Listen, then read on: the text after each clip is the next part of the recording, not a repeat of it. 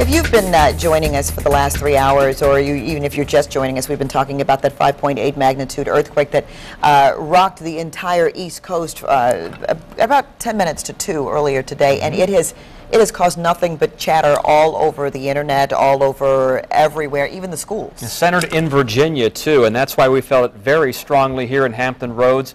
Uh, Cape Henry Collegiate, that's where 10 on your sides Melanie Woodrow is right now, and she has uh, a little lesson for us. Melanie? I do. I'll, I'll turn it over to the experts for the lesson part, but I have to tell you, here at Cape Henry Collegiate, they have probably one of the only analog seismograph machines. Am I getting this right, Deb? In, in possibly all of Hampton Roads. This is Deborah Duffy. She's a science teacher here in Virginia Beach. Deborah, tell me about this machine and, and the exciting things we're seeing on this machine this afternoon. Well, it's quite exciting because we have never had an earthquake of this magnitude in the recorded history in Virginia.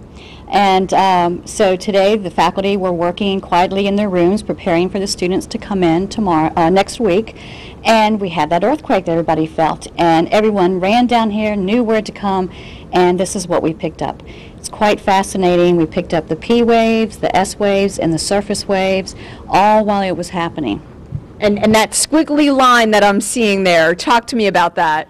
Okay, the squiggly line, uh, we have our first occurrence, the P waves, then the S waves, and the squigglies that are the biggest here are the surface waves, and those types of uh, seismic waves are the ones most responsible for um, the shaking of the ground and any damage that may occur during an earthquake. And show us as well, show the viewers the one that we had last week that this machine picked up a little bit as well. Uh, actually, it was yesterday, Colorado. We picked it up right here. It's not quite as prevalent, but so on this sheet of paper, we have both Colorado and Virginia in, in 24 hours. Did you ever imagine you'd have something like this here as a teacher in Virginia Beach?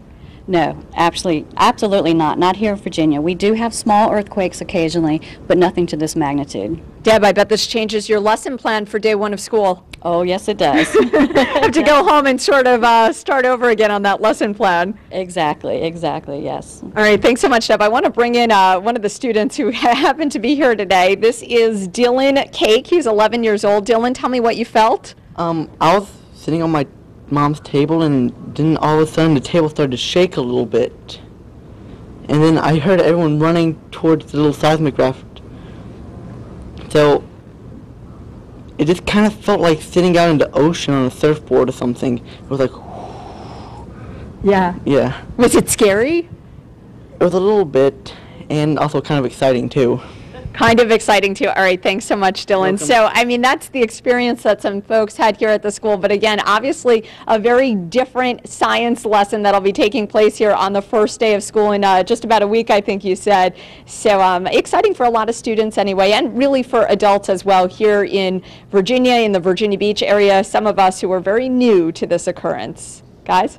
Yeah, very different science lesson they definitely will be teaching when, when uh, school starts. We've had so many things going on today with not just the hurricane, but